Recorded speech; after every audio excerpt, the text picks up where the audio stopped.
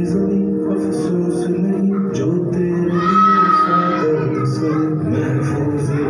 तेरी आन सदा चाहे जान मेरी